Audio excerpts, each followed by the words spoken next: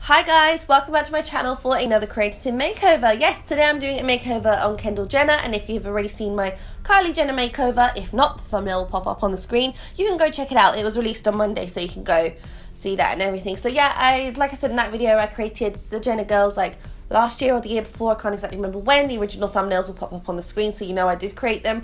And I just kind of wanted to give them a makeover because I did use CC on them. Like I used a bit of Alpha CC on Kylie's hair and the nails and everything and stuff, but I didn't actually have eyelashes in my game at that point. And after I started getting, when I put eyelashes in my game, I was like, oh my god, a lot of my Sims could have done with some eyelashes. So this is kind of why I'm doing it, and I kind of had new CC different CC and I kind of wanted to see what it would look like. Now I use um, CC eyes as well, so I just kind of wanted to see. And it makes so much difference. And I kind of think that the girls look like them before, but now using all this, I think it just looks like them completely. So, well, that's my opinion anyway. You guys might think, oh, yeah, yeah, yeah. But I don't know.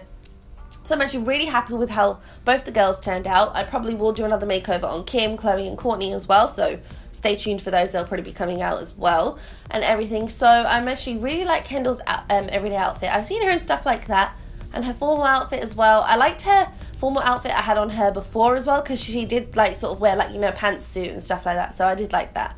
And her new formal outfit I do like in her party wear as well.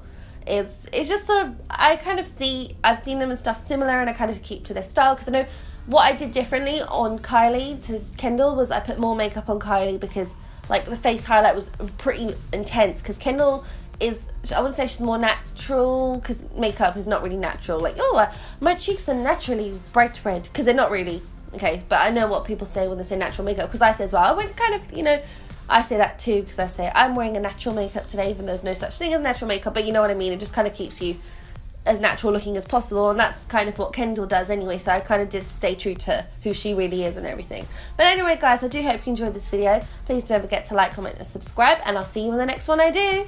Bye, guys.